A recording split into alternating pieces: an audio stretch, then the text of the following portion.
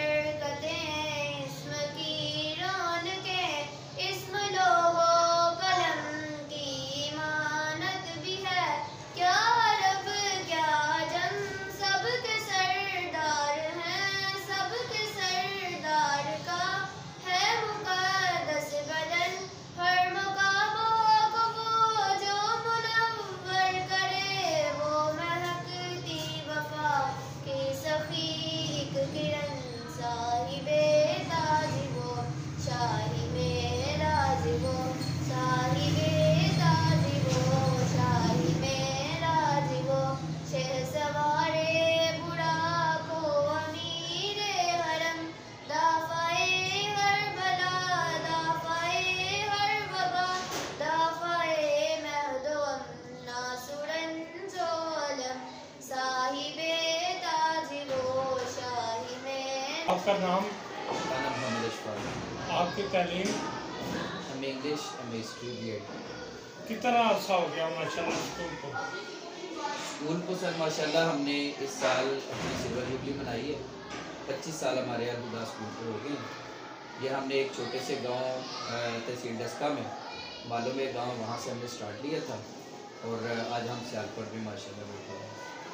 मेरे लिए ये कहें कि माशाल्लाह तरक्की का राज क्या है? सर बुज़ुर्गों की दुआएँ और सलाम का जो उसवा हुसना है, कामयाबी का बेहतरीन नमूना वही है। कोई किसी भी मंजिल पे पहुँचा है, वो चाहे मुस्लिम है, चाहे ना मुस्लिम है, वो जिसने आप सल्लल्लाहु अलैहि वसल्लम के उसवा हुसना की तकलीफ़ की है, जाने में या अनजाने में वही कामयाबी की मनाजर तय कर सकता है क्या हुकूमत तावन कर रही है आपके साथ? नहीं सर हुकूमत तो रुकावटें पैदा करती है। आपने देखा कोविड के दौरान हुकूमत ने किस तरह से प्राइवेट सेक्टर्स मैं कहता हूँ कि एंटी प्राइवेट सेक्टर्स जो है एक किस्म की कंपेन चली जो मैंने फील किया कि उन्होंने अनाउंस किया जी अभी कोविड के हालात गुजरे हैं और आप जो हैं सर्टिफिकेट के बगैर बच्चों का एडमिशन नहीं कर सकते। लेकिन हमारे पास बहुत सारी रिपोर्ट्स आई कि गवर्नमेंट स्कूल के अंदर विदाउट सर्टिफिकेट वो एडमिशन कर रहे हैं। तो इसका मतलब क्या था कि जरा ये लोग जरा एडमिशन ना करें और उससे हमारे पास एडमिशन हमें रजिस्ट्रेशन के मामला में भी काफ़ी सारी रुकावट रुकावटें होती हैं वो कि जो सबका प्राइम मिनिस्टर इमरान खान साहब ने इस सिस्टम को ऑनलाइन भी किया था। लेकिन इसके बावजूद भी सर इसके अंदर बहुत सारे प्रॉब्लम्स हैं। रजिस्ट्रेशन के मसा- मसाइल जो हैं ये डे बाई डे बढ़ते हैं और अहबाब हमारे यहाँ तक कहने पर भी आ जाते हैं कि छोड़े फिर रजिस्ट्रेशन को क्या करें तो क्या करना चाहिए हुकूमत को? सर देखें मैं समझता हूँ कि पाकिस्तान की आबादी का एटलीस्ट सिक्सटी परसेंट जो बर्डन है वो प्राइवेट सेक्टर ने उठाया है। तो प्राइवेट सेक्टर को अगर ये फैसिलिटेट नहीं कर सकते ये माली लिहाज से मेरा मतलब है। अब देखें जो सर्वेज बताते हैं कि गवर्नमेंट स्कूल के अंदर एक बच्चा जो है ना, उसका 10 से पंद्रह हज़ार रुपया पर हेड सालाना सॉरी माहाना खर्चा आ रहा है। जबकि हमारे प्राइवेट सेक्टर में क्या है अभी मेरे पास आपके सामने एक खातून आई है।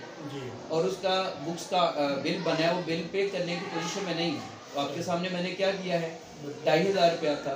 तो मैंने उसको कोई दूसरी बात ही नहीं की है। फ़ीस ये ब्राय नाम, मेरे पास अभी एक खतून आई। कहती है, सर, मेरा खामद नशा करता है और मैं बच्चों को कैसे पढ़ाऊँ?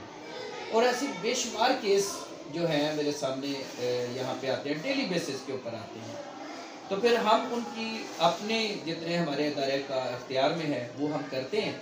लेकिन गवर्नमेंट जो है वो हमें कम अज़ कम परेशान तो नहीं करे ना। तो मैं कहता हूँ यही उनकी जो है वो हमारे लिए तोहफा है बच्चों के वालदेन का शौर है यहाँ पे इस इलाके में? बच्चों के वालदेन बेचारे मजबूर हैं सर। मुल्की हालात और महँगाई ख़ास तौर पे जो तनख्वाहदार तबका है वो पिस चुका है। वो बेचारे की बीस हज़ार तनख्वाह होती है दस हज़ार वो जो है ना वो पंद्रह हज़ार किराया दे देते हैं फिर बाकी पाँच सात हज़ार में वो क्या करेंगे? राशन नहीं होता। तो शऊर भी नहीं है। लोग समझते हैं कि बच्चे को कारोबार पे डाल दिया चेक एंड बैलेंस रखते हैं बच्चे चेक एंड बैलेंस हम ही रखते हैं। पेरेंट्स तो कितने उनको पूरा साल ना पूछे तो वो पूरा साल ही हमारे पास आते लेकिन हम अपने आज टेक्नोलॉजी को यूज़ करते हुए व्हाट्सएप के थ्रू मिसाल के तौर पे नाइन टेन की आज तैयारी जो है वो पीक पे है। तो बच्चे जो टेस्ट सही नहीं दे रहे होते, उनको व्हाट्सएप के ऊपर फिर उनके घरों में भेजे जाते हैं कि आपके पास फुर्सत नहीं है इनके टेस्ट वगैरह चेक करने की, इनकी रिपोर्ट लेने की तो हम आपको आपके मोबाइल पे जो है वो भेज देते हैं।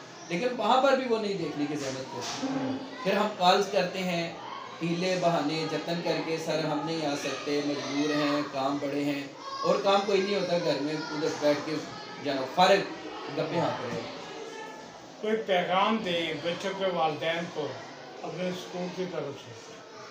सर, मेरे स्कूल की तरफ़ से पेरेंट्स को पैगाम ये है कि तालीम जो है ना, ये हमारे आका वसलाम ने और हमारे मज़हब ने तालीम के ऊपर बहुत ज़्यादा ज़ोर दिया है कि आप सल्लल्लाहु अलैहि वसल्लम की हदीस मुबारक के तुम इल्म हासिल करो, चाहे तुम्हें चीन ही क्यों ना जाना पड़े।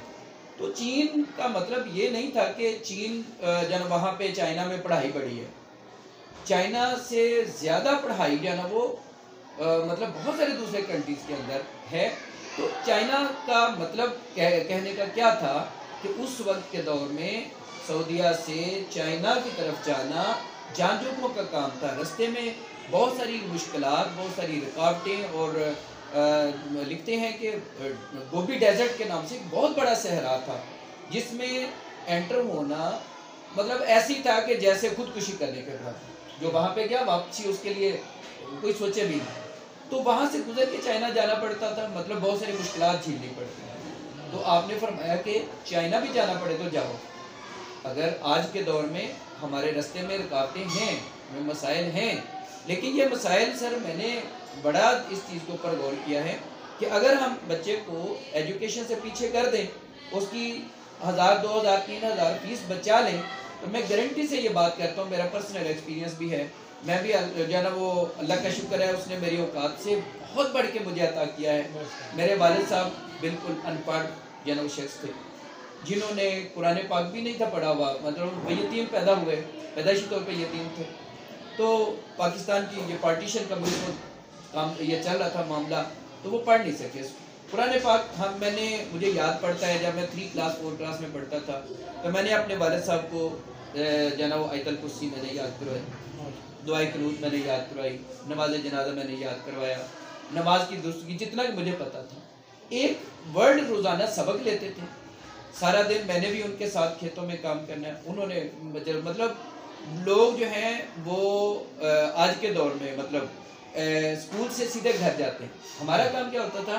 स्कूल से सीधा खेतों में जाना डेरे पे जाना। है वहाँ पे रात देर तक काम करवाना है फिर उसके बाद घर आगे पढ़ना है। वालद साहब जो है ना उन्होंने जब हमने बैठना है तो उन्होंने चुपके से जो ना अपना सबक सुनाना शुरू कर दिया। शवाक पुत्र तो मैं जो है ना वो बड़ा इस चीज़ पर फख्र महसूस करता हूँ। मेरी वालदा कुरान पाक पढ़ी थी लेकिन तलफ़ भी हम महसूस करते थे कि ठीक नहीं थे उन्होंने हमारे ऊपर मेहनत की हमें शौर दिया। मुझे बड़ा याद है, सर, मैं वन टू क्लास में पढ़ता था और फ़र्स्ट सेकंड का पता ही होता कि ये पोजीशनें क्या होती है। तो मैं अक्सर पेरेंट्स के साथ अपने सेशन के अंदर भी पेरेंट्स को बताता हूँ कि मेरे वालद साहब अनपढ़ जो हैं, उन्होंने पढ़े लिखे का रोल प्ले किया। मुझे कोई रिज़ल्ट जैसे आज का रिज़ल्ट का दे दूँ। रिज़ल्ट निकला है, मुझे किसी ने पूछा कि क्या बना है, आपकी कौन सी पोजीशन अब मुझे पोजीशन का नहीं पता। हो तो मेरे वालद साहब ना फटाफट कहते थे कि फ़र्स्ट नंबर आए। अनपढ़ थे। तो मैं सोचता था कि ये पता नहीं फ़र्स्ट नंबर क्या होता है। अब फ़र्स्ट नंबर में, लेकिन ये समझ आती थी कि ये कोई अच्छी चीज़ है। सर सेकंड अपना सेवन क्लास में, मैंने पहली दफ़ा जो है गवर्नमेंट स्कूलों में मैंने देखा कि पोजीशन अनाउंस हुई। मैं अपने सेक्शन में फ़र्स्ट आया। और फिर उस दिन जब मुझे ऑनर मिली, मुझे रेस्पेक्ट मिली, मुझे इज़्ज़त मिली तो फिर उस दिन मुझे समझ आई कि फ़र्स्ट नंबर क्या होता है। उसके बाद फिर उस्ताद उसातजा की नज़रों में भी आ गए उसातजा ने मेरे बड़े अच्छे उस्ताद ताहर अली गिल साहब मालूम से अ, अपना सिद्दीक साहब मेरे फिज़िक्स मैथ के टीचर रहे हैं। आजकल माशाल्लाह वो कोरे की मसरूर के पास जो है ना एक गाँव में हाई स्कूल के हेड मास्टर हैं।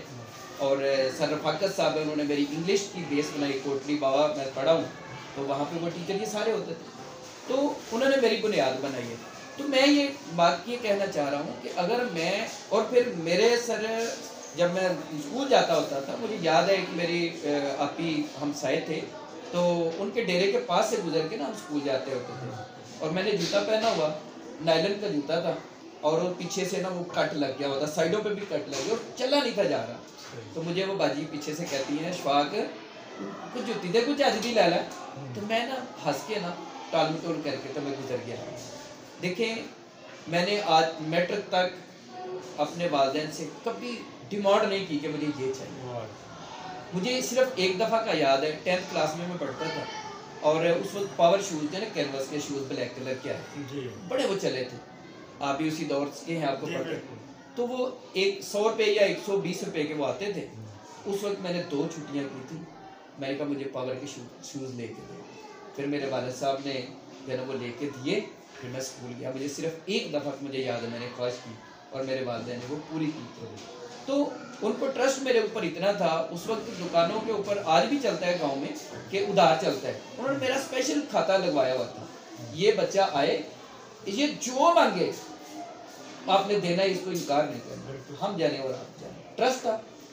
वो ट्रस्ट की बुनियाद पे आज अल्हम्दुलिल्लाह उन्होंने फिर वो दवाएँ दी। और दुआओं के नतीजे में आज मेरे वालदे दुनिया में नहीं है, लेकिन मैं ये समझता हूँ कि ये क्रेडिट सारा उनको जाता है। तो वो फ़र्स्ट नंबर जो कहते थे ना, आज मैं फ़र्स्ट नंबर हूँ। मेरे जब मैं टू क्लास में वन क्लास में था फोर्टी प्लस स्टूडेंट थे, और उनमें से वाहद मैं हूँ, जो इस लेवल पे पहुँचे और बाकी सारे पीछे रह गए। तो वालदेन के लिए मेरी जनाब पैगाम सिर्फ़ यही है कि मुश्किल से ना घबराएँ। मुश्किलात से ना घबराएँ। वो कहते हैं कि काफिला जब मेरा अज़मो यकीन से निकलेगा जहाँ से चाहेंगे रास्ता वहीं से निकलेगा। मेरे वतन की मिट्टी मुझे एड़ियाँ तो रगड़ने दे। मैं मेरे वतन की मिट्टी मुझे एरिया तो रगड़ने दे। मुझे यकीन है कि चश्मा यहीं से निकलेगा। तो ये मेहनत करें मशक्क़त करें बच्चों की तालीम के ऊपर कॉम्प्रोमाइज़ ना करें क्वालिटी के ऊपर कॉम्प्रोमाइज़ ना करें और तल स्कूल में जाते हैं जिस स्कूल में आपका दिल करता है कि हमारा बच्चा यहाँ पे अच्छा पढ़ सकता है। तो आप वहाँ पे जो प्रिंसिपल की कैशियर की, जो भी वहाँ पे मैनेजर है एडमन की, आप तरला कर लें, मिन्नत कर लें, समाजत कर लें। लेकिन जहाँ पे आपका दिल मानता है, आप अपने बच्चे को वहाँ पे पढ़ाएँ।